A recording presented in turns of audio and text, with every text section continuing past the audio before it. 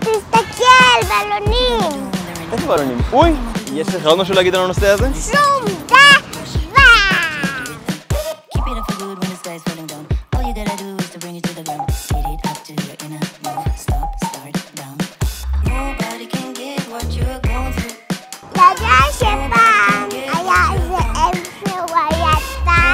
איך קראו לו? טן משועל. כשאתה תלך לישון, נשים אותך בתוך הציל. לא, אסור לו עם ילדים בתוך ירקות. תפסיק לדבר. יפ. דנדן, איך כל השטויות האלה התחברו בעריכה?